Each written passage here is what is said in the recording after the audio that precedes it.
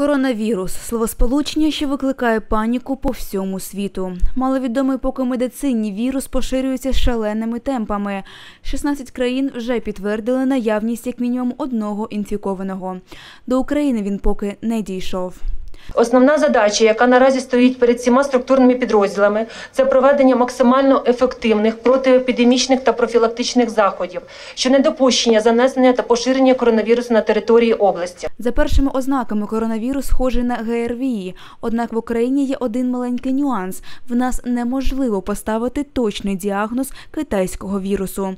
Одеський обласний центр МОЗ може діагностувати лише віруси грипу А і Б, але хворих, у яких буде підозрювати коронавірус, все ж таки лікуватимуть від цієї інфекції, проте без точного діагнозу. Для Украины а, а, референс лаборатории является в Лондоне. Лаборатория в Лондоне. То есть, а, по идее, приказом, который вышел 185 он говорит о том, что а, образцы материала должны быть доставлены в референс лабораторию Центра громадского здоровья с дальнейшим направлением материала в Лондон. Результати аналізів потрібно чекати щоменше двох тижнів. Однак не варто забувати про профілактику. Необхідно постійно мити руки, по можливості уникати тісного контакту з будь-якою людиною з симптомами застуди або грипу, добре проварювати м'ясо і яйця перед вживанням їх в їжу, ну і звичайно носити одноразові маски. Однак найкращий варіант на всякий випадок закупити специфічні респіратори N95 і N98.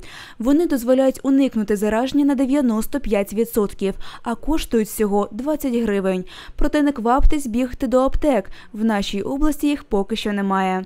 Однак облдержадміністрація планує в найближчий час закупити їх в Дніпрі. Я доручаю в найкоротші сроки передбачити наявність в області максимальної кількості.